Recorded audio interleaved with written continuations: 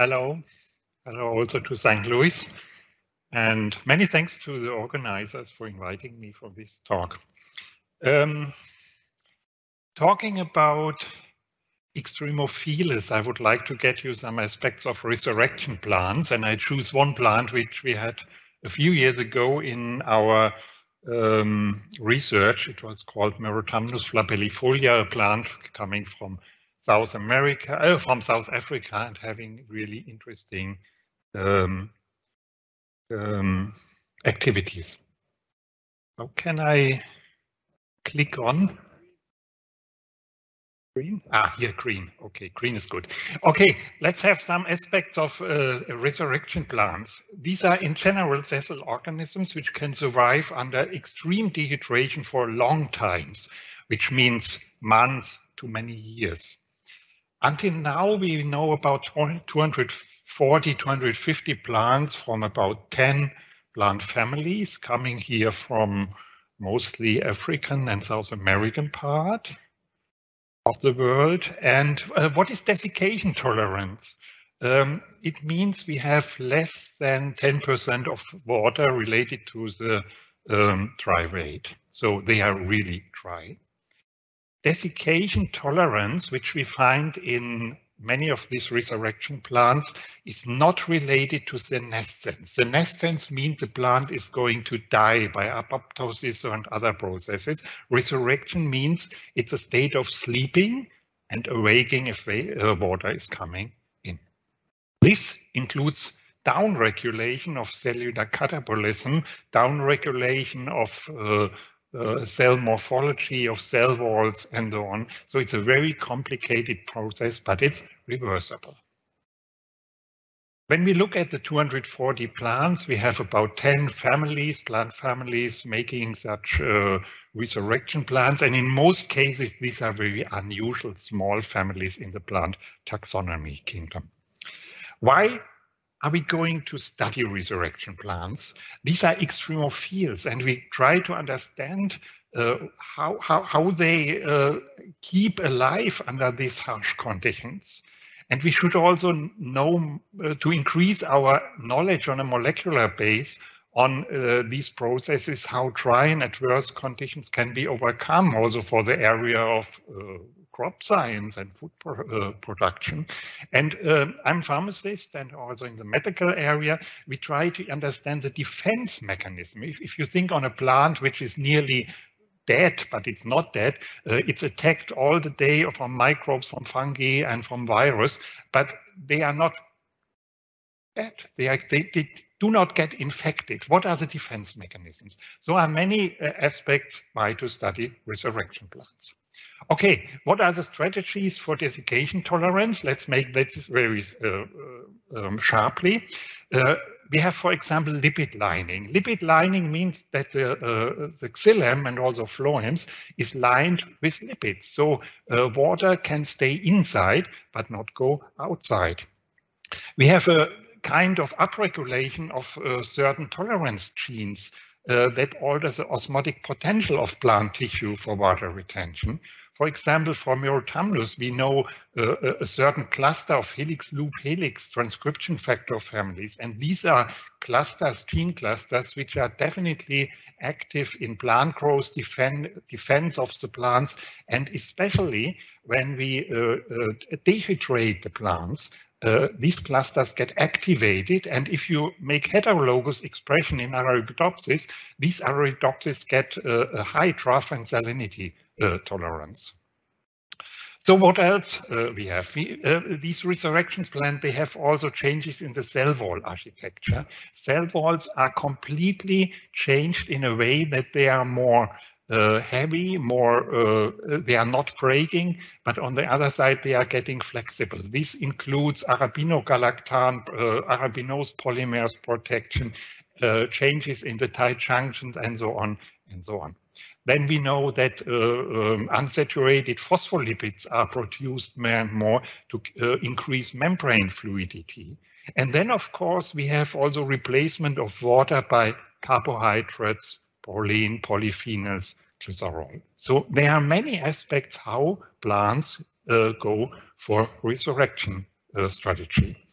Especially osmoprotection uh, by these plants is interesting. That means the production, the biosynthesis of um, um, so-called compatible solutes, which uh, replace water in case of water removal by interaction with polar grooves of the protein surface. Compatible uh, um, solutes, they stabilize membrane functionality, they stabilize protein functionality, and uh, this in a reversible manner.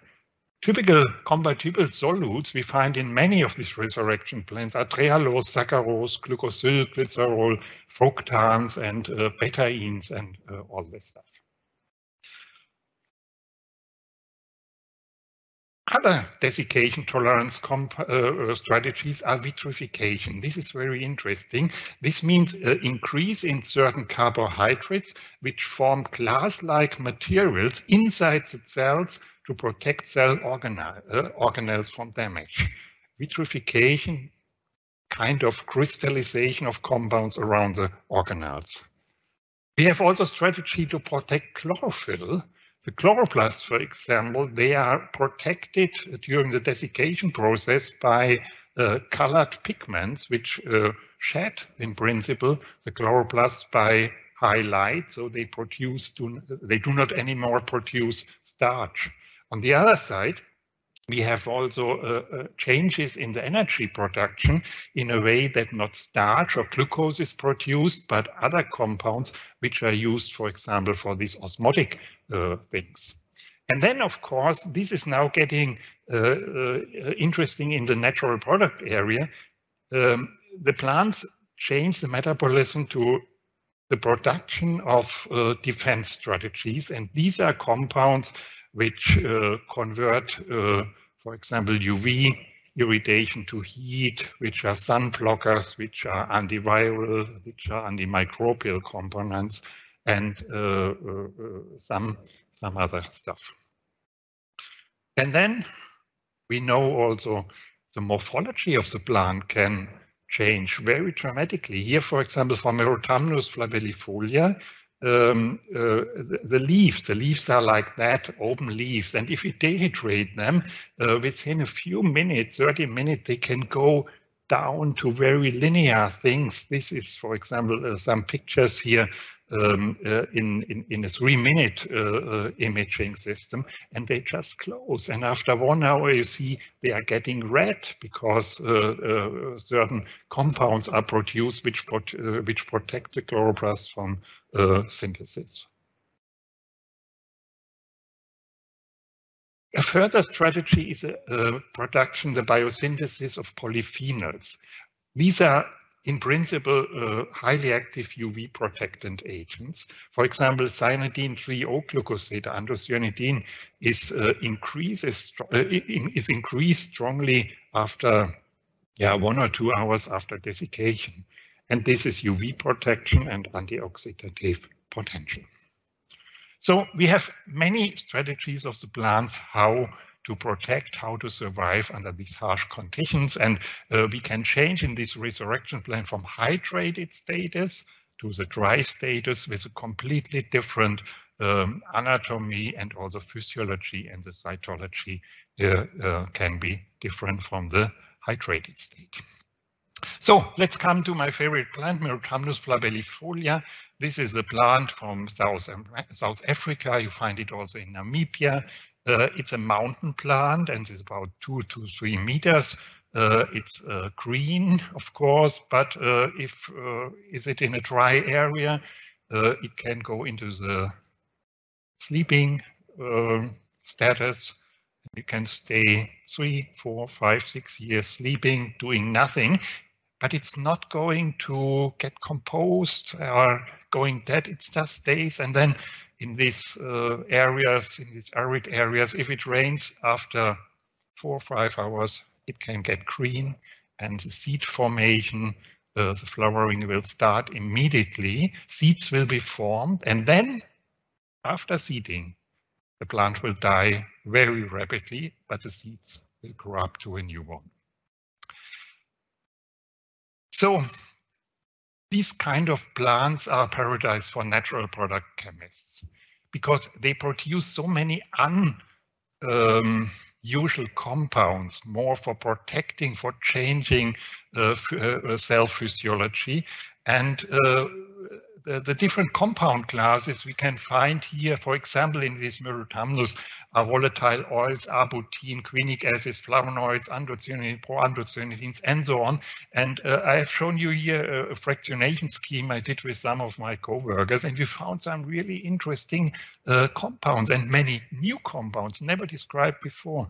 One of the major groups had been tannin-like proanthocyanidins. These are um, derivatives from flavonoids, which are derived from flavane 3-ols monomers, which are getting oligomerized, polymerized to dimers, trimers, polymers, and on.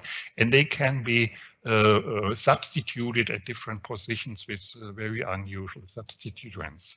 So these uh, compounds are tannin-like polyphenols, at least at uh, the trimeric levels, they start to have protein denaturing activity. We know from literature arbutin has been always described for um, um, for, for. Uh, we found also uh, degaloylated compounds, which are uh, extremely uh, antimicrobial.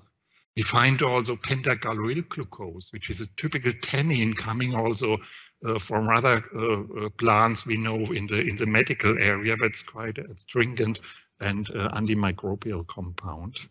Uh, we find uh, uh, huge amounts of this osmotic pressure uh, with compatible solutes, raffinose, stachyose, trehalose, and about 4 to 5% of trehalose is quite a lot. And this says uh, this is a resurrection plant using this as a compatible solute.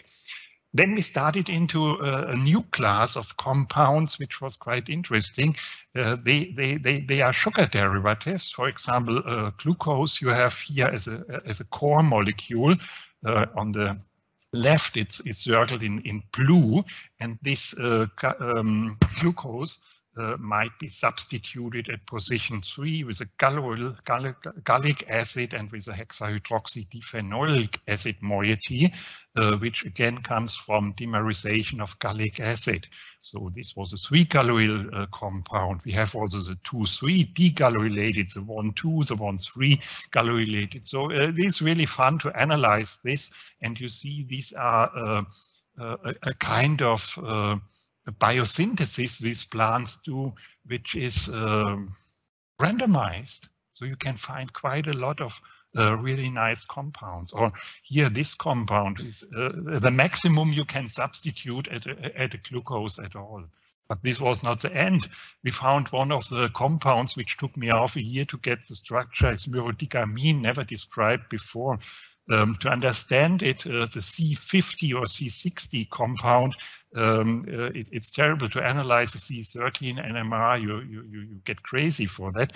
Actually, this is a, a glucose substituted at position two uh, and one with uh, galloyl residues, then substituted with he hexahydroxydiphenyl residues. And you get this also dimerized. And we found one more of these terrible compounds, which uh, was similar, but was also a new compound. So it's really fantastic what you what you can find uh, and um, um, nice compounds in not so high amount, but in, in most cases, they are quite uh, strongly antimicrobial active. Or we found quite uh, some galloyl quinic acids. Uh, also, in most cases, they are galloylated uh, for this plant.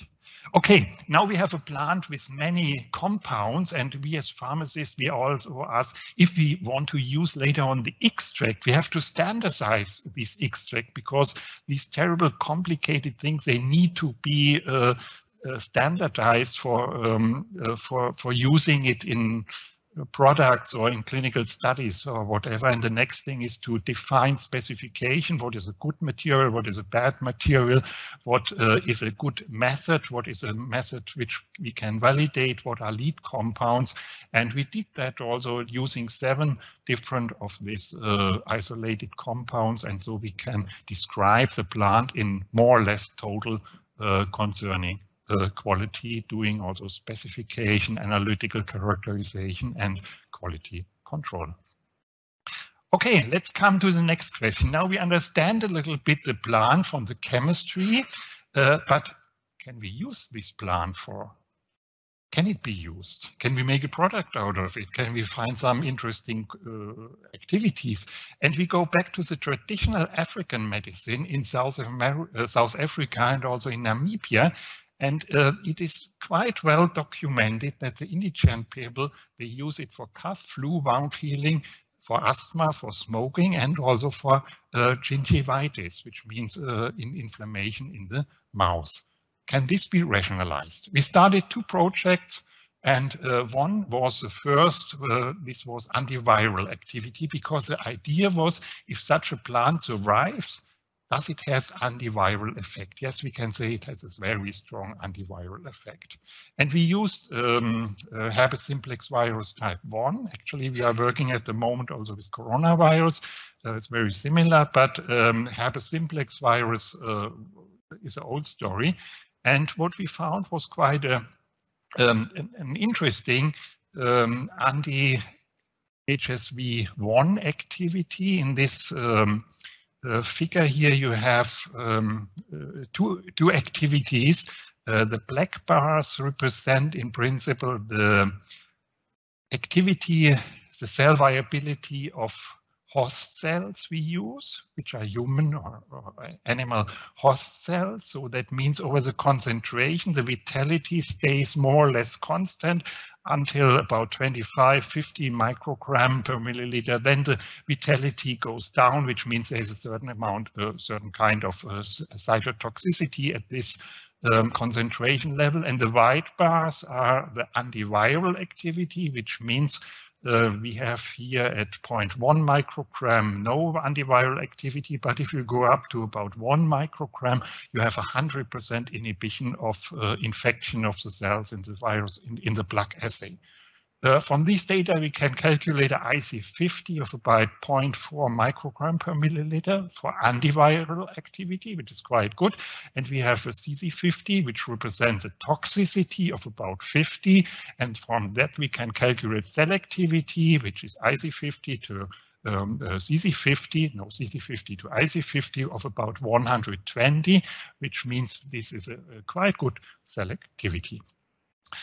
If we make staining uh, of the virus in red with a fluorescence, uh, with a, with a stained antibody, we can see in infected uh, cells, for example, which are stained in blue, that in the upper uh, uh figure uh, you have um, strong adhesion of the red virus to the um, to the cells, to the host cells. If we treat with uh, quite low concentration, there's no adhesion, no infection of the cells anymore. And from these data and also from some others I do not show, we uh, think that the uh, extract of Myrothamnus interacts definitely with the attachment of the cells.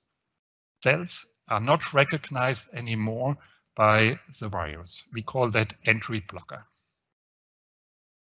Okay, I skipped these data. Uh, we, we had been on the search for, for the active compound and we can um, uh, definitely uh, tell one, one compound which is active for this um, activity.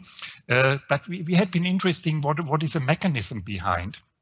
Um, if we look for the attachment and the first interaction of the host cell with a virus, uh, we have four glycoproteins on the um, on the surface of um, the herpes virus, which are called glycoprotein B, C, D, H, which interact at the first recognition stage with uh, uh, complementary receptor systems, mostly heparins and nectins on the host cell side. We have in a first interaction, initial attachment of GB with uh, heparin, followed then by GD attachment to nectin, and then the membranes are brought together, the membrane of the virus, the membrane of the host cell, and then uh, a membrane fusion occurs, and then uh, uh, the, um, the, the virus particle is internalized into the cell.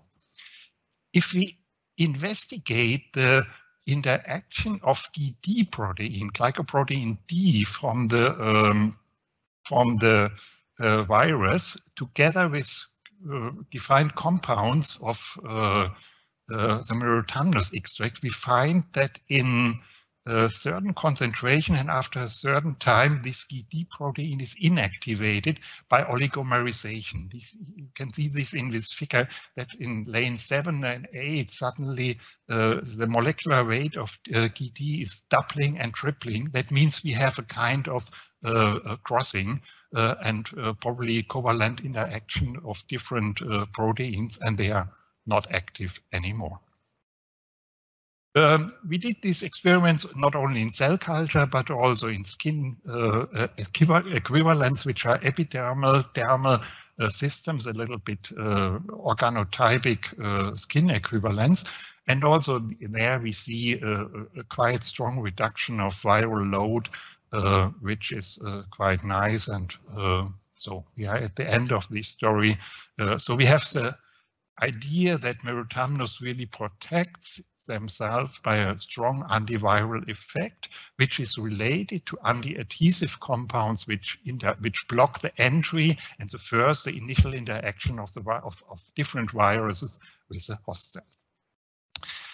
We had also um, a second um, traditional use of this plant by the uh, African people and the healers used for gingivitis. And we went uh, into a project which investigates periodontitis. And periodontitis is one of the most awful but widespread uh, um, uh, health uh, problems in our mouth area in our Western world.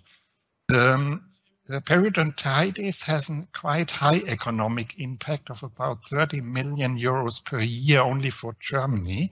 Uh, we have, um, in principle, a strong inflammation of uh, the mouth, uh, starting with gingivitis and then going into the periodonton. And at, at, the end, you have a loss of teeth, and um, it's a, not a very nice um, uh, disease. About 25% uh, of the German population are related to this disease in a strong way, and about 50% uh, are on the way periodontitis uh, in the mouth in a, more in a, in a less severe case. If we look at this infection, uh, we have some keystone pathogens in the um, oral microbiome. We have the good ones, here green, we have the bad ones, uh, the red ones um, we have the yellow, something in between, and especially this red complex defined by the existence of Porphyromonas gingivalis, Tannerella, and Treponema uh, species. This is called the red complex, and in case of periodontitis, this red complex is getting more and more dominant. We focused a little bit on Porphyromonas gingivalis, which is really a bad bug, um, uh, having Fimbria, hemagglutinin, uh, doing strong invasion, capsule, uh, immunological problems.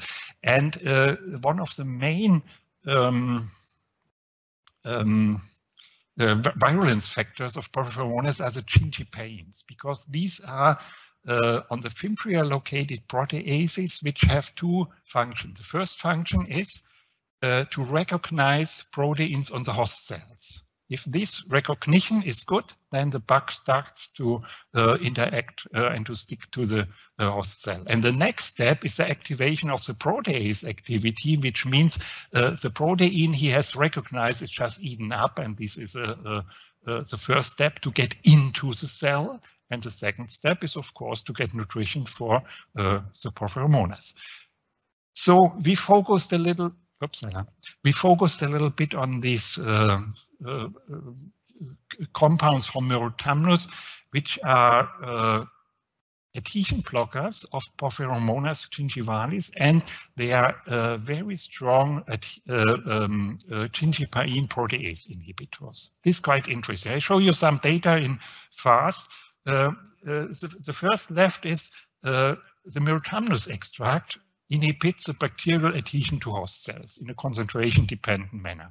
So um, uh, the, the, bug does not recognize anymore uh, human buccal cells. More interesting is that the extract inhibits, inhibits the activity of these proteases.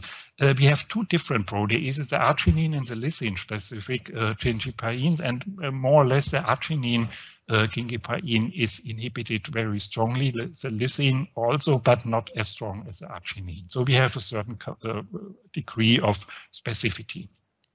We could also show that the inflammation parameters uh, by the extract uh, produced by infection uh, of cells with um, reduced significantly. So it's not only that we uh, change the interaction, the host pathogen interaction, we do we change also the proteolytic activity of the bug and we change also the inflammation response of the cell by the extract, which is quite interesting. So we went also further on which compounds are responsible for this effect. And uh, because we did not have at this time so much material from Myrothamnus because some, some problems with uh, South um, Africa, we used another plant, Rumex acetosa, which is very common from us uh, in our area. And Rumex acetosa is funny. It contains more or less in, uh, similar compounds as Myrothamnus in the area of this uh. So we use this Rumex for isolation of the compounds. Uh, and we isolated here uh, quite a lot, I think 20 of these proanthocyanidins, and we tested them against Porphyromonas and also against these gingipains.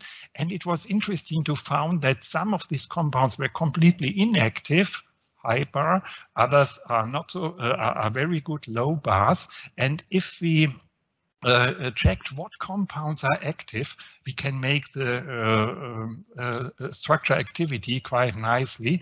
Um, if we have uh, flavane trioles, which are galloylated at position 3 with a gallic acid, then we have a good effect. Independent, is it a monomer, dimer, or trimer, or whatever, but we need a certain structural element uh, which is um, very easy to achieve and to, to isolate from this plant. We did also using some uh, chemical compounds uh, um, and, and some in silico docking, and we used one uh, lead compound, which is a dimeric procyanidin, which is di um, um, um which is um, uh, galloylated in position three, and we uh, docked this into uh, one of these gingipains, and it was interesting to see that the galloyl moiety uh, definitely went into the pocket, into the active center. If we leave out the galloyl residue, then it will not fit anymore into the enzyme. So we understood a little bit what's going on. So we tested also this uh, uh, material in a, in a pilot study, in a clinical study with um, um, uh, 35 patients. I make that very short. And uh, actually, we did monitor the amount of bacteria in the mouse, especially the Porphyromonas, and it did not change, at least not significant. But what was interesting, we had strong activities on the significant activities on um, uh, inflammation parameters, a plaque index, which was told us by uh, dentist. This is one of the most interesting things, uh, that the plaque reduction uh, uh, was significant. And we had also less bleeding, significant less bleeding uh, using this mouthwash. But this was also only a, a, small pilot study just to see um, if we can rationalize these effects, uh, which had been told by traditional healers from South Africa to us. But at this point of view, we can say, yes, the traditional medicine has taught us to use these plants, which has been used for thousands of years in South Africa for many things. And we have the feeling, yes, it's antiviral. Yes, it's good against uh, these mouse uh, problems. And I think there's a big potential uh, to uh, use these plants or other resurrection plants for uh, uh, interesting medical pharmaceutical uh, applications. So thank you for your attention. And uh, my last slide, I, I, always have herbal medicinal products and drugs from nature and natural products from nature. They are absolutely exciting, absolutely fascinating. They are modern, they are innovative, but we have to work for uh, getting them fit for future. But I think there's a big potential uh, in using plants uh, for our health problems. Thank you for your attention.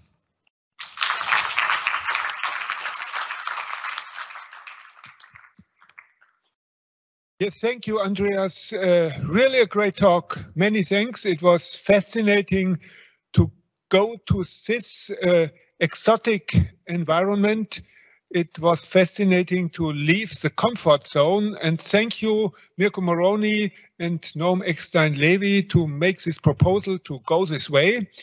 And I would like now to ask the auditory for questions.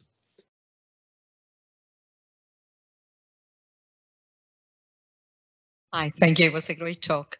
So um, I had with your resurrection plant extract, so you mentioned that it's also used for wound healing applications. Mm -hmm. And I just wonder whether you think this is due to the anti-inflammatory activities it may have, or does it have any effect on particular stages of wound healing, for example, keratinocyte migration or formation of myofibroblasts?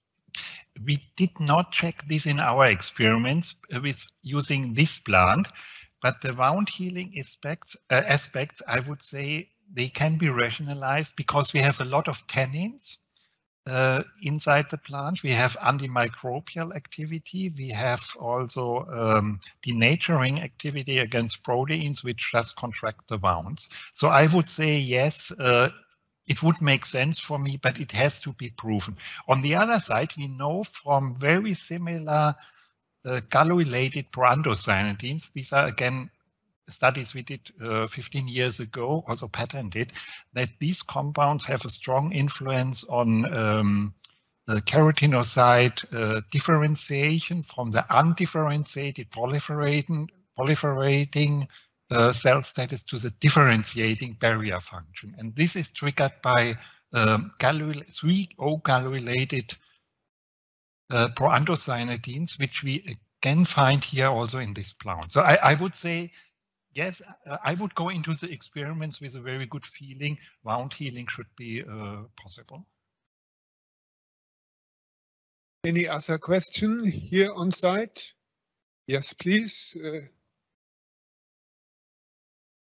Thank you for this fascinating talk. If I understood you correctly, you said like that these plants can go uh, through years of, of dehydration and then within yeah. one day after rain, it, they revive and yeah. can form seeds but then they die. Yeah. So I was wondering, does it mean there are certain processes which are irreversible, or are there examples where there are multiple uh, periods of dryness and and the plants start growing roots and uh, branches and new leaves? This is a good question. I don't know if uh, if you can rehydrate a Myrothamnus several times. I as far as I know, if you use, for example, Rose they can be hydrated more than one time. Uh, in our lab, when we had um, uh, plants from, from Myrothamnus, we hydrated them only once, and the second time after drying down, it did not work. But these had been lab plants. I'm, I'm not sure how it really works if you if you are in, in, in, in the nature. I would say one time, yes. Second time, the seeds have to grow for a new plant.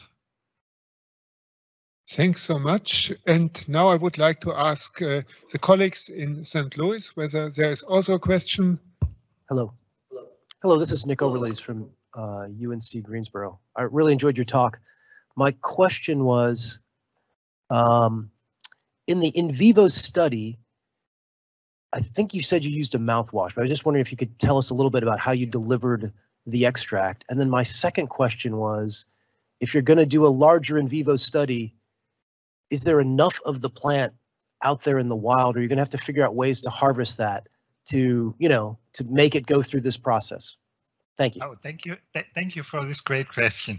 Um, first of all, the pilot study we did uh, was not done with Myrothamnus, but as you may have uh, realized, we used this other plant, Commensurail, which is uh, very similar to Myrothamnus, but it's not a resurrection plant. The reason why we used this plant is that the availability of the Myrothamnus at this time when we made the study uh, was a little bit difficult and we needed really many kilograms for this preparation of the uh, mouthwash that we decided to use this other plant. This, from, from the formal point, uh, it, it's a different uh, study, so I, I, I, did not tell you really the 100% truth, but um, um, it, it's, it's very similar. The second question is uh, how we prepared the, um, uh, the mouthwash. Um, we did a, a, a, very special extraction. So it was done by acetone water 7.3 and we defatted also this extract uh, to get out of the chlorophyll, which increases stability of this formulation. And the formulation then was stabilized by ascorbic acid and, and um, other things. And we had also make the placebo formulations to, to, to get the same taste or so. Um, these data have been published in Planta Medica um, uh, and uh, the mouthwash contained 0.8 percent of the extract, which is quite quite concentrated. So it's a very heavy uh, tasting uh, preparation, but at least from 35 patients, uh, nobody complained after three days anymore. And most people said, yes, it's strong. It's like Fisherman Friend or something like that, but uh, but it's tasty. So uh, the mouthwash was used in this study, I think, seven days every day, two times or so in the evening and the morning. And our idea is if we make a product development, we would like to put it in a mouthwash or in the toothpaste uh, uh, for uh, um, uh, for, for adding it to an already existing um, treatment we do every day just by brushing our uh, teeth. So we should, from my point of view, we should not make an add-on Uh, uh, uh, second mouthwash we have to buy and to use in the morning, nobody will do that, but to add that to the normal toothbrush. But this is industrial thing and marketing, I don't care for that.